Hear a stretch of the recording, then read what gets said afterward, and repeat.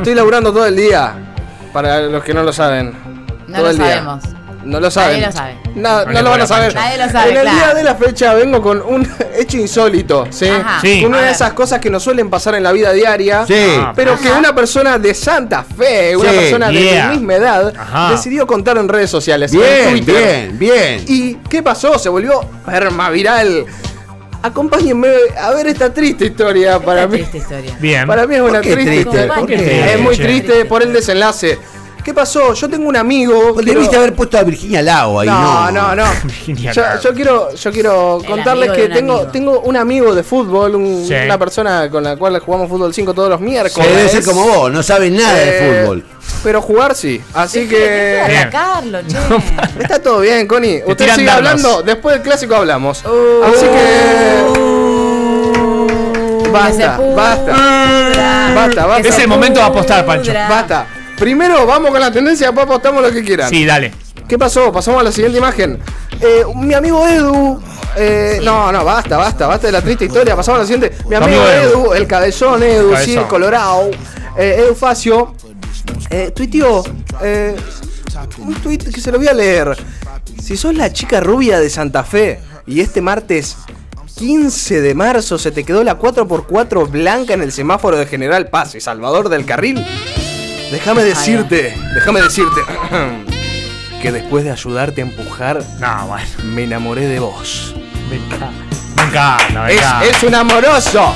Es un Después de empujar. Eh, tengo, tengo data de este, de este chico, sí. Sí. Eh, además, a- abajo puso ayúdame a encontrarlo. Por favor, yo Claro. colaboré, Sí. eh, yo colaboré. Eh, ayúdame a encontrarla. Eh, no quiero que pases a la siguiente imagen. Quiero que pongas el audio. Edu me comentó la situación. no, es periodismo Sí, esto. me Esto es comentó la periodismo. situación. Esto es periodismo, carajo. Pancho investiga. Vamos a escucharlo, eh, a Edu. Vamos a escucharlo.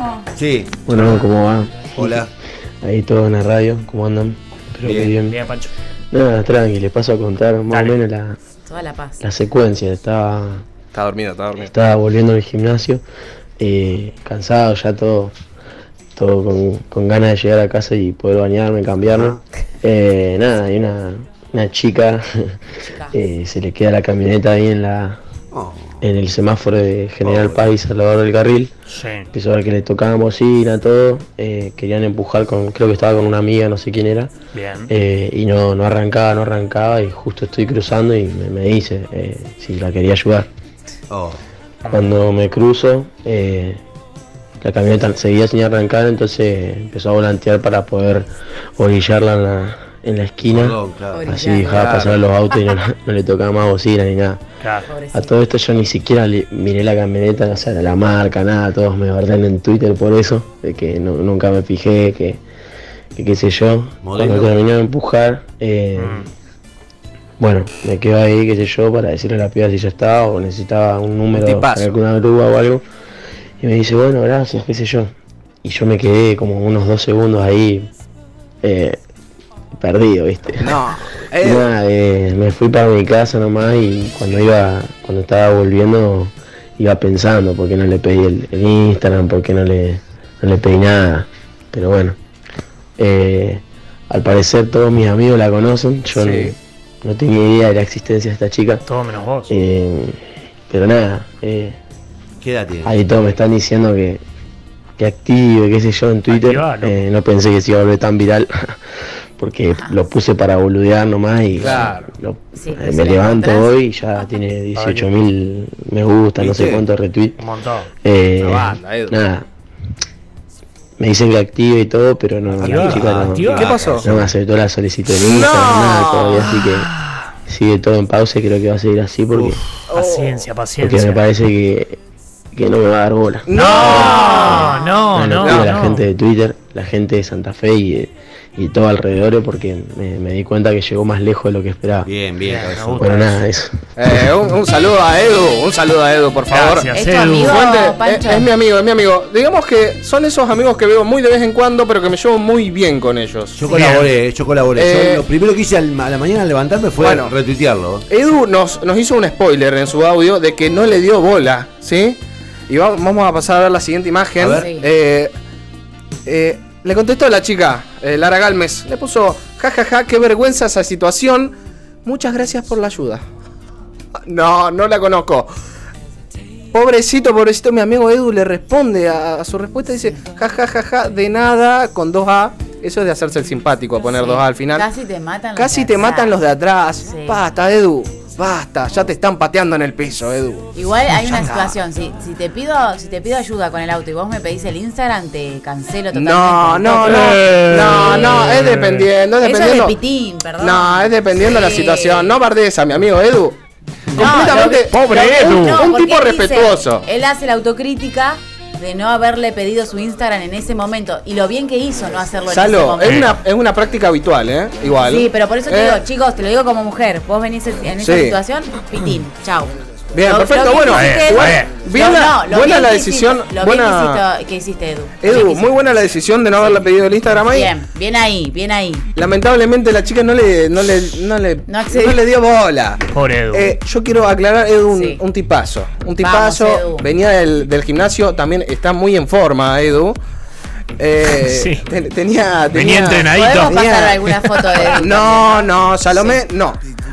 Basta. Voy a empujar Ay, eso. se me quedó mi camioneta también. Eh, Edu, Ayúdame, Edu. nada, sinceramente me pareció eh, Claro. muy interesante. Ayer nos reíamos mucho con mis amigos de esta situación Sí. de pobre Edu. Todos conocíamos Pobre a la chica Edu. esta, pero él no la conocía justo. Ah, Ah. ¿Les pasó alguna vez? Y justo en mi zona, General Paz y Salvador. No, bueno, ahí, Salomé, es vos ahí. también. No, no, no, es por ahí que eh, pude haber visto esta situación y no, y no- justo no la. Justo. No, no vi, no presté atención. A ustedes quería preguntarles a raíz de esto para estirar un poquito más. Eh, al eh, aire. sí. Lo di- Vamos, Qué descarado. vamos, acá vamos a ladrar y vamos a Sí. hacerlo a mano.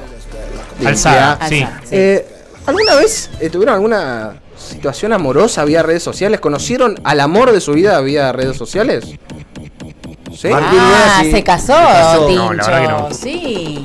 Sí. Sí, sí, sí. ¿Cómo tenés- tienen algo para contarme? ¿Algo para decirme de ¿Puede resumir eh, su situación, Claro. Tincho? El inicio? Ah, bueno, no tiene micro. Ah, ok. No, no tiene micro. Bueno, la cono- eh, conoce, conoce a, a Ixulop por una aplicación ¿Sí? de citas que buscaban algo serio ambos, empiezan Ajá. a hablar, eh, se conocieron, flashearon amor, ese amor pero Intenso. Fuerte. intenso, sano, hermoso y se casaron, así. Ah, qué lindo. Sí, sí, sí, sí, y son el, el amor de Qué- sus qué vidas. loco. Eh, sí, ¿lo conté bien, Tincho? Sí, lo contó bien. Esto, esto, me- esta situación me hizo acordar a la cantidad Sí. de veces que yo era chico, iba en el colectivo Sí. y me cruzaba miradas con alguien Ahí ah. y era el amor de Claro, y colectivo. se iba, y se El iba, amor del y colectivo. se iba y vos perdías el rastro. Y se iba y yo me bajaba en Alvear y decía, qué cosa. Eh, ahora es muy común que la gente se conozca en redes sociales o se conozca y digamos y hagan un touch eh, a través de redes Match. y Está changado. un match, Sí. un point, match point. Match point. One, four.